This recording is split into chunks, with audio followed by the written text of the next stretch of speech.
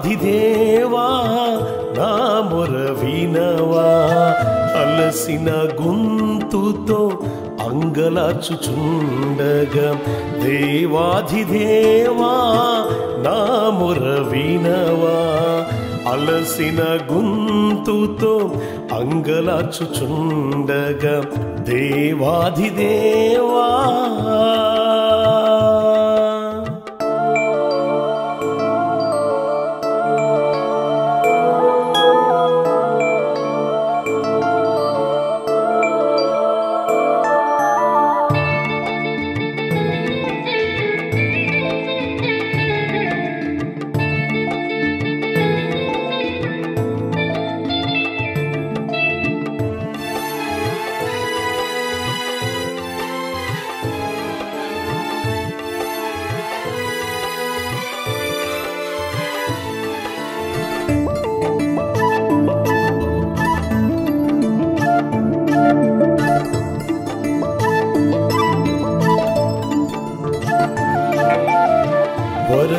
వరద నా శత్రువులు నన్ను ముంచివేయుటకు పొంగి పొల్లగా.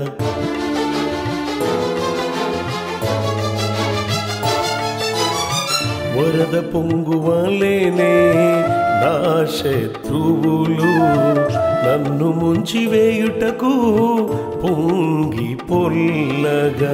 ఆశతో ప్రాణం నీ వైపు చూస్తూ ఆశతో ప్రాణం నీ వైపు చూస్తూ అంగలార్చెను నీ కృప కొరకై అంగలార్చెను నీ కృప కొరకై దేవాధిదేవా నా మొర వినవా అలసిన గొంతుతో అంగలాచుచుండగా దేవాదిదేవా ప్రకటన గ్రంథం మూడో అధ్యాయంలో మరొక మాట మీ కొరకు నేను చదువుతాను. తొమ్మిదో వచ్చిన యూదులు కాకయే తాము యూదులమని అబద్ధమాడు సాతాను సమాజపు వారిని రప్పించదను. వారు వచ్చి నీ పాదములు ఎదుట పడి నమస్కారం చేసి ఇదిగో నేను నిన్ను ప్రేమించను అని చెప్పినట్లు తెలుసుకున్నట్లు చేసేదను. నీవు నా ఓర్పు విషయమైన వాక్యములను గైకొంటివి గనుక భూనివాసులను శోధించుటకు లోకమంతటికి మీదకి రాబో శోధన కాలములో నిన్ను కాపాడేదను. ఎన్ని రకాల ఇబ్బందులు ఎన్ని రకాల విపత్కరమైన పరిస్థితులు మనకు వచ్చినా సరే నిన్ను కాపాడతానని దేవుడు ఒక వాగ్దానం ఇస్తున్నాడు. దర్శనపు లోయ.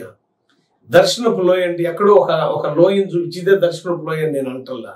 దర్శనపు లోయ మనం దర్శనపు లోయలో ఉన్నాం. దర్శనపులోయ దర్శనపు లోయ దేవుడు చూస్తున్నాడు దర్శనపులోయలో ఉన్న తన పిల్లలను. సూషణ కోటలో ఉన్న యూదులను దర్శనపులోయలో ఉన్న ఆ యూదులను చూశాడు. ఇప్పుడు కాలంలో ఉన్న మనల్ని చూస్తున్నాడు. జ్ఞాపం చేసుకోండి ఈ దర్శనపు లోయలో దేవునికి ఇష్టమైన వ్యక్తులుగా మనం ఉంటే దేవుడు మన పక్షాన నిలబడతాడు.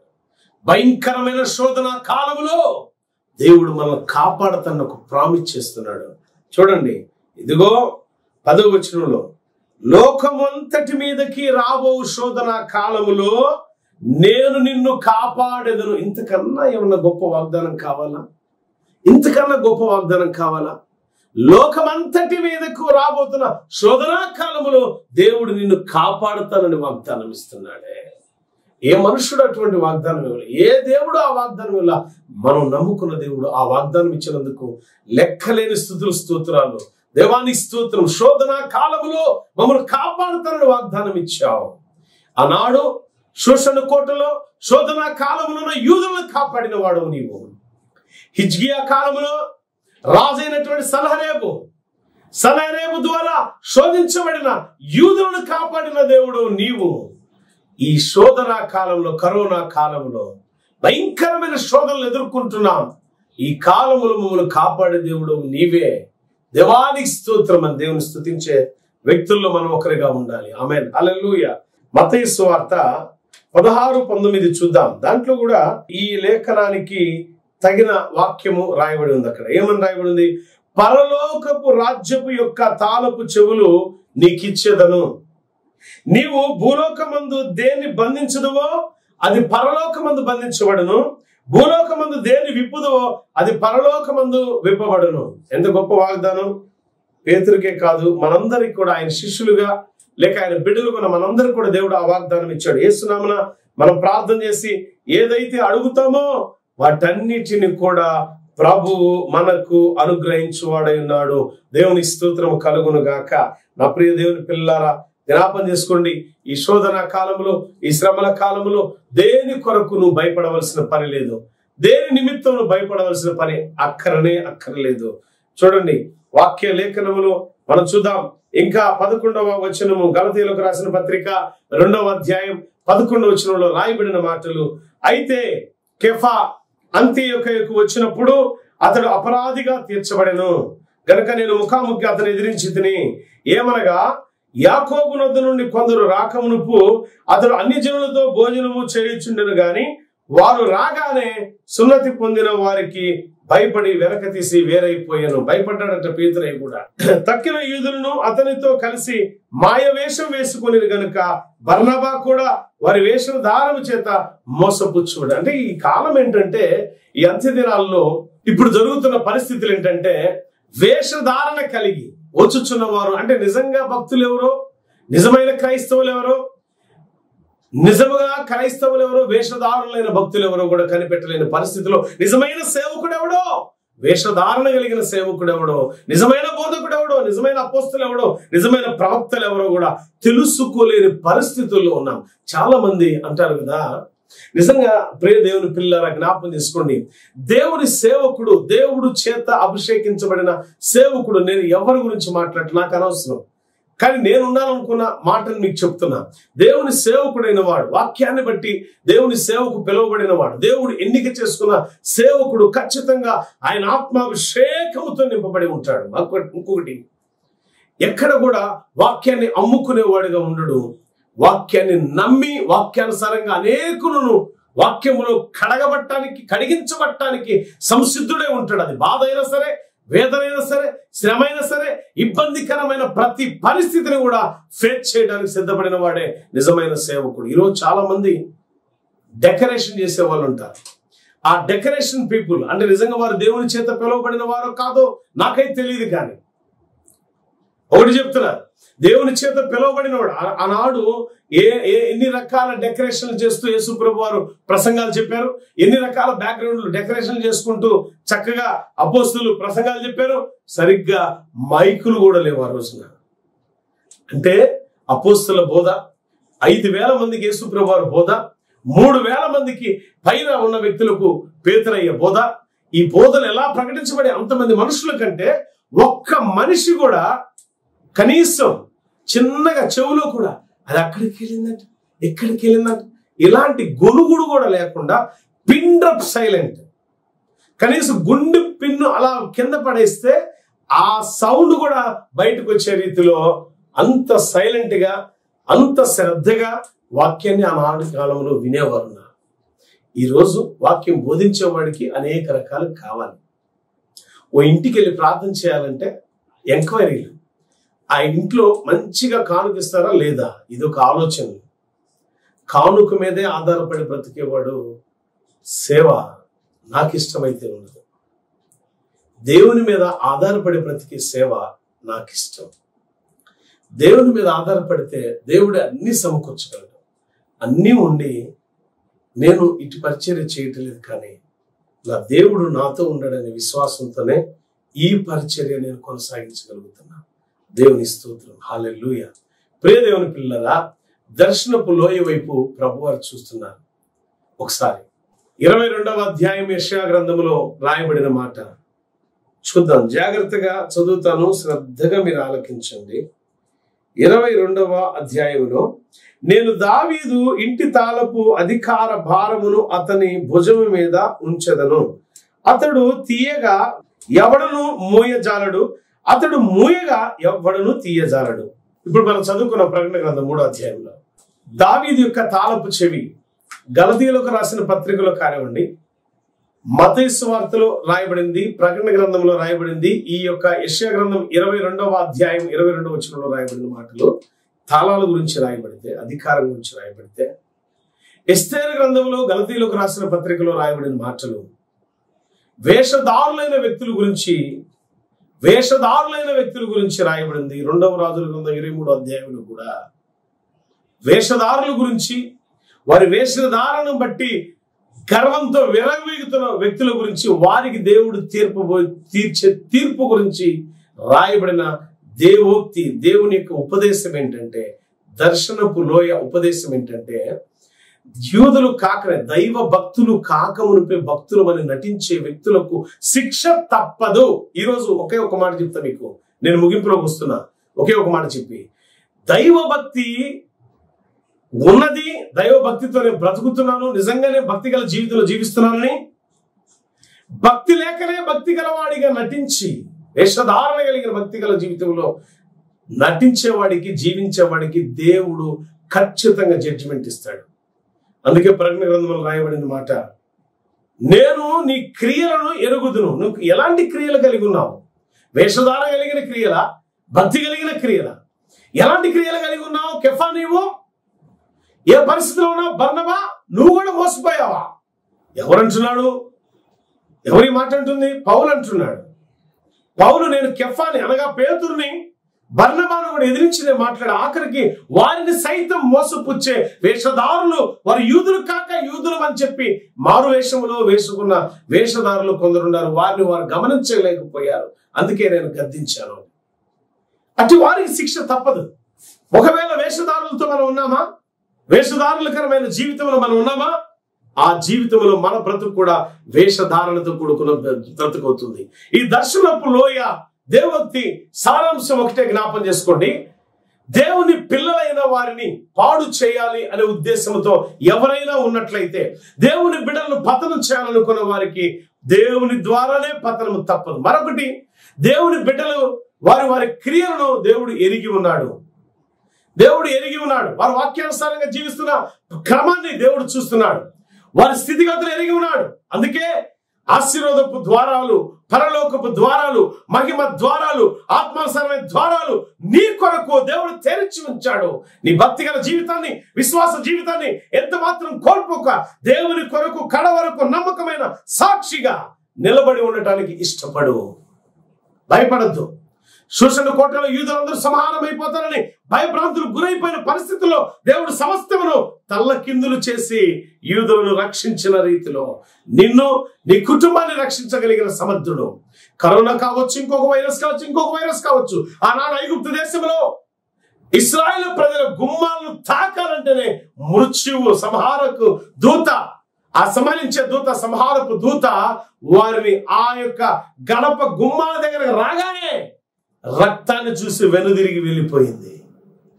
ఈరోజు కూడా ఈ కాల పరిస్థితిలో కూడా నీ భక్తి గల జీవితాన్ని బట్టి దేవుని పట్ల నీ యొక్క విశ్వాసం ఉంచిన జీవితాన్ని బట్టి నీ యొక్క స్థితిని బట్టి దేవుని పట్ల నీకున్న విధేయతను బట్టి దేవుని నువ్వు ఆరాధించే విధానాన్ని బట్టి దేవునికి నీ హృదయం ఇచ్చే స్థానాన్ని బట్టి ఆ సంహారపు దూత నీ గుమ్మము తక్కాలన్నా సరే భయపడుతుంది. ఈరోజు కరోనా చూసి అనేక మంది భయపడుతున్నారు. కరోనాని భయపట్టేవాడు అంటూ ఉంటే అది క్రీస్తు మాత్రమే జ్ఞాపం చేసుకోండి. కరోనా పురుగు కూడా భయపడుతుంది క్రీస్తుని చూసి. ఆ క్రీస్తుకు నువ్వు భయపడి యథార్థమైన ప్రవర్తన జీవితంలో దేవునికి నమ్మకమైన సాక్షిగా నువ్వు జీవిస్తే దేవుడిని గొప్పగా దీవిస్తాడు. అమేన్ హలలుయా కనుక పౌలయ్య ఏ రీతిలో ఆ రోజు పేతుర్ని బర్నాబా గురించి గలతీయ సంఘానికి రాసిన లేఖలు చెప్తున్నాడు అంటే వేషధారుల వల్ల మనం కూడా వేషధారత కలిగిన వేషధారణ కలిగిన భక్తి గల జీవితంలో జీవిస్తున్న నటించేవారు. భక్తి ఉండదు వాళ్ళ దగ్గర. కానీ నిద్ర ఒక ఒక మాట అంటారు మన పెద్దలు అరే బాబు మెలకకుండా ఉండైతే అసలు లేపలు నిద్రపోయి ఉండైతే ఈజీగా లేపుతాం అనగానే ఏమనేవాళ్ళంటే ఆ మెలకు ఉండేవాడేమో నటిస్తూ ఉంటాడు. నటించేవాడు కాబట్టి ఆయన లేపలేవు నిద్రపోయి అయితే లేపగలుగుతాం. నిద్రపోయి ఈజీగా లేపచ్చు కానీ నటించేవాడిని లేపడం కష్టం. అలానే ఈ యొక్క ఆత్మీయ జీవితం ఎక్కడ పాడైపోయింది? ఈ ఆత్మీయ జీవితం ఎక్కడ పతనమైపోయిందో అని చెప్పేసి ఒక ఆరాటం అపోసరైన పౌలయ్యలో మనం చూస్తున్నాం. పేతురు గురించి మాట్లాడుతున్నాడు. అదేవిధంగా తక్కిన యూదుల గురించి మాట్లాడుతున్నారు వాళ్ళందరూ కూడా మాయా ధరించుకొని యూదులు కాక యూదులు అనుకుంటూ వచ్చిన వారు. వారి గురించి గలతీలు రాసిన పత్రికలో రెండవ అధ్యాయం పద్నాలుగో వచనంలో వారు సువార్త సత్యము చొప్పున క్రమముగా నడుచుకొనకపోవుట. నేను చూచినప్పుడు అందరి ఎదుటనే కెఫాతో కూడా నేను చెప్పినది ఏమనగా నీవు యూదుడవై ఉండియో యూదుల వలె కాక అన్య జనుల వలె నువ్వు ప్రవర్తిస్తున్నావే. నీవు యూద యూదా జాతిలో పుట్టి యూదుల్లో ఒకటిగా ఉండి యూదుల క్రమము చొప్పున నడచ నడవక నువ్వు అన్ని జనుల వలె నువ్వు నడి నడుస్తున్నావు. ఇది పద్ధతి కాదు ఈ యొక్క ప్రవర్తన జీవితం దేవునికి సరైనది కాదు అనుకుని హెచ్చరించిన మాటను ఈయన పౌలయ్య సంఘానికి చెప్తున్నాడు కలతి సంఘానికి. అనగా ఏంటంటే క్రైస్తవ జీవితంలో జీవిస్తూ క్రైస్తవులుగా బ్రతుకుతూ క్రీస్తుకి వారసులుగా మనం బ్రతుకుతున్న మన బ్రతుకు మన ప్రవర్తన విధానం దేవునికి మహిమకరంగా ఉండాలి తప్ప క్రీస్తు వలె మనం ఉండాలి తప్ప క్రీస్తు చాలా పరే పలానా వాడు ఎవరబ్బాయి అంటే ఆ పోలికలు చూస్తే పలానా పలానా అని అంటా ఉంటాం కదా. అంటే పలానా వాడి కొడుకు పలానా వాడు. ఆ ఈ పిల్లవాడు అలా ఉన్నాడంటే ఖచ్చితంగా వీళ్ళ తండ్రి పోలికి వచ్చింది అందుకనే వాళ్ళ నాన్న చిన్నప్పుడు ఇలానే ఉండేవాడు. అంటూ ఉంటాం కదా మనం. క్రీస్తుకు మాదిరిగా క్రీస్తు పోలికతో మనం జీవించాలి కానీ క్రీస్తుకు వ్యతిరేకులుగా క్రీస్తు నామాన్ని అవమానపరిచే వ్యక్తులుగా మనం బ్రతకూడదు నా ప్రియ దేవుని బిడ్డలారా జ్ఞాపం చేసుకోండి. క్రీస్తు యొక్క సారూప్యత మన ఎందు ఏర్పడేంత వరకు కూడా కష్టమైనను నష్టమైనను అది బాధ అయినా సరే అది ఎటువంటి శోధనైనా సరే ఆ శోధన కాలంలో ఆ శ్రమల కాలంలో దేవుని కొరకు నలగగొట్టబడే నిజమైన క్రైస్తవుడుగా మనం ఉండాలి. యేసుక్రీస్తు శ్రమ కలుగుతుంది కదా? అయ్యో సుత్తి దెబ్బలు అయ్యో మేకుల దెబ్బలు అయ్యో రకరకాలుగా గాయాలైపోతుంది నా దేహం అంతా అని చెప్పి తండ్రి అయిన దేవుడు అప్పగించిన పని కోసం వాటన్నిటిని భరించడానికి సిద్ధపడి ఏ రీతిలో ముందుకు అడుగులు వేశాడో మన ఆత్మీయ జీవితంలో కూడా మన బ్రతుకులో కూడా మనం కూడా ఎన్ని రకాల శ్రమలు ఎన్ని రకాల ఇబ్బందికరమైన పరిస్థితులు ఎటువంటివి కలిగినా సరే వెను తిరిగి చూడని నిజమైన క్రైస్తవులుగా క్రీస్తు వైపు చూస్తూ మన పందె పరుగులు ఓపికతో పరిగెత్తే వారిగా మనం ఉండాలి. అలా కాక మన ఇష్టానుసారమైన జీవితం జీవిస్తే దర్శనపు లోయలో మనకు వ్యతిరేకమైన తీర్పు తీర్చబడుతుంది. అనగా మూయబడిన ద్వారాలు ఇక మన బ్రతుకులు ఎప్పుడు తెరవబడవవి. మూయబడిన ద్వారాలు నీ కోసం నీ కుటుంబం కోసం నీ బిడ్డల కోసం తెరవబడనే తెరవబడ నీ సంఘం కోసం తెరవబడనే తెరవబడు నా ప్రియమైన దేవుని సేవకుడా. క్రీస్తుకు మాదిరిగా ఉండాలి. దేవుని యొక్క సేవ చేస్తూ కూడా ఆయన ఏదో దేవుడు యేసుక్రీస్తుతో నడిచి కూడా అన్య జనుల వలె నువ్వు ప్రవర్తిస్తున్నావు అని చెప్పి పావులు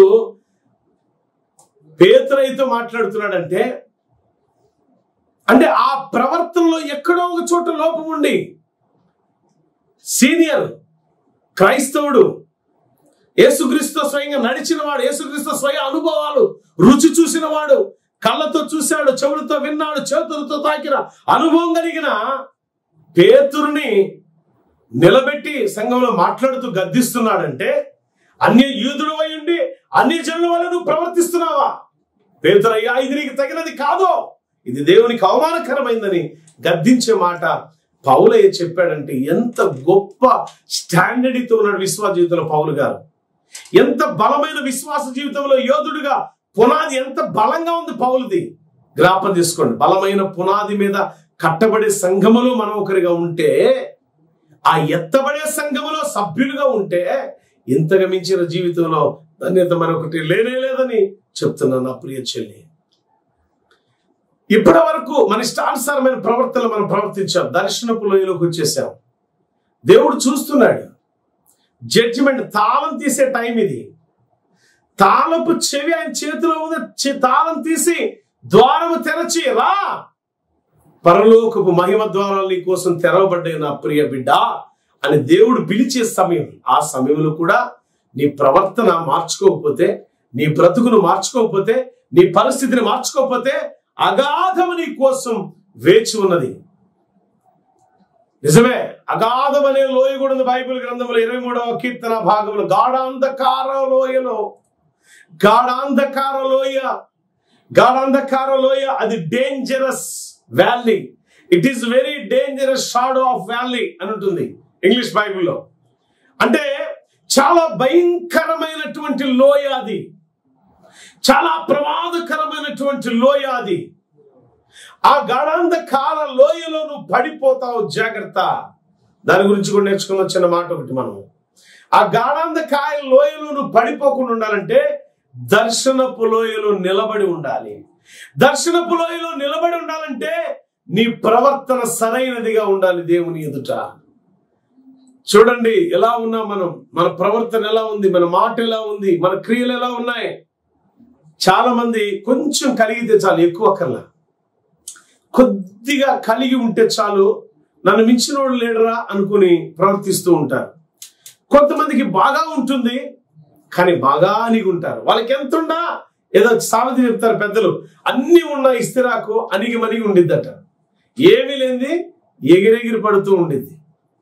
నిజంగా అన్నీ ఉన్నవారు ధన్యులుగా ఉన్నవారు ఉన్నారు. అన్నీ ఉన్నాయి కదా అని అహంకారంతో విరవిగేవారు ఉన్నారు. నా ప్రియ చెల్లి నా ప్రియ తల్లి జ్ఞాపం చేసుకో. నీకున్నాయి.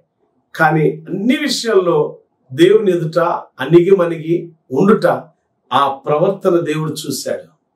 అందుకే మేలు చేయటం కోసం ఆయన తాళం తీసి ద్వారం తెరిచాడు. అమ్మా లోనికి రాని.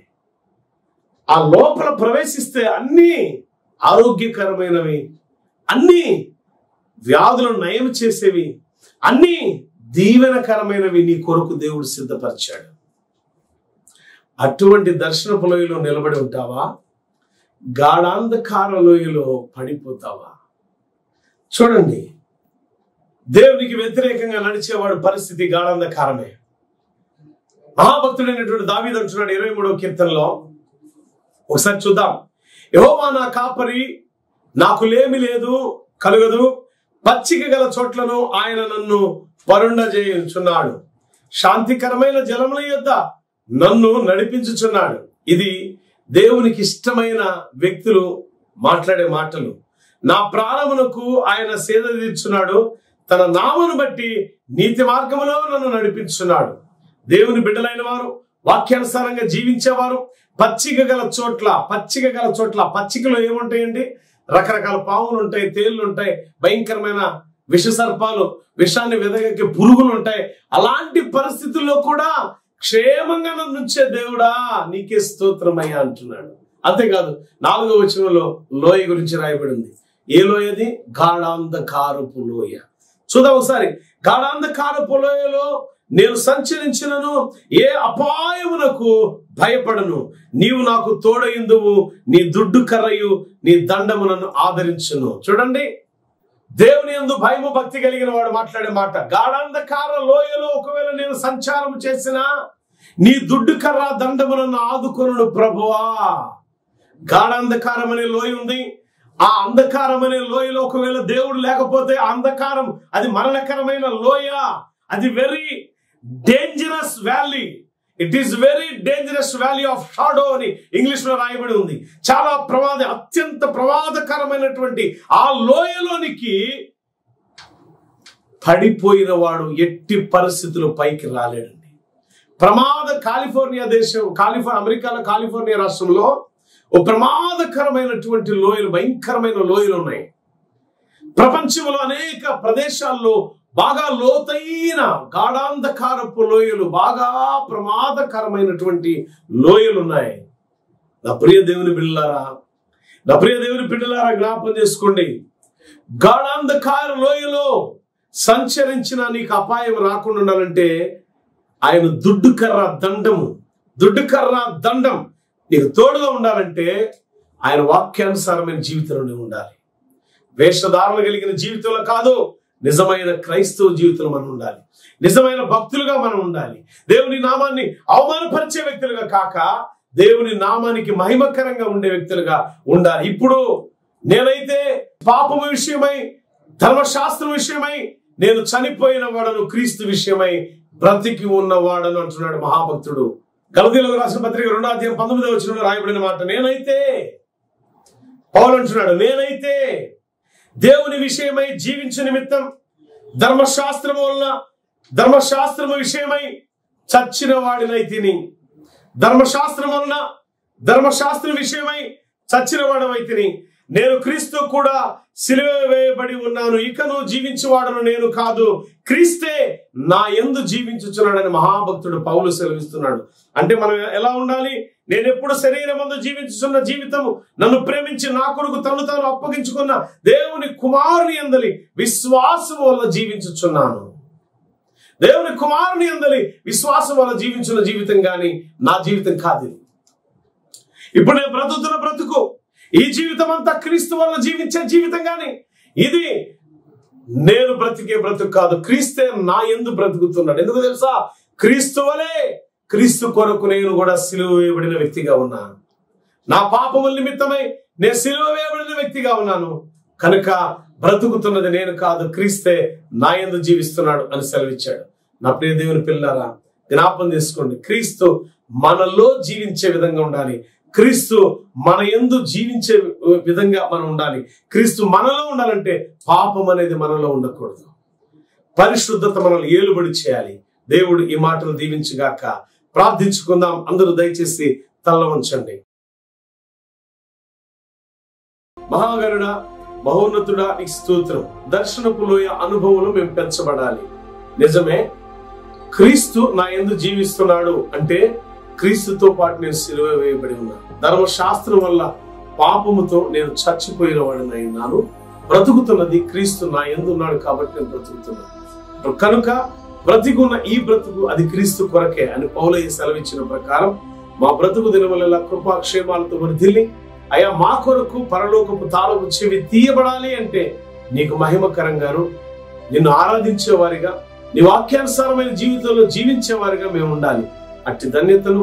ఈ వాక్యాన్ని వీక్షించిన ప్రతి బిడ్డకు ప్రతి చెల్లికి తల్లికి ప్రతి అన్నకు ప్రతి తమ్ముడికి దయచేయమని. అలానే ప్రభా తెలుసో తెలియకో ఒకవేళ మేము వేషధారుల వల్ల ఇప్పటి వరకు మేము గడిపి ఉన్నాం మా జీవితాన్ని.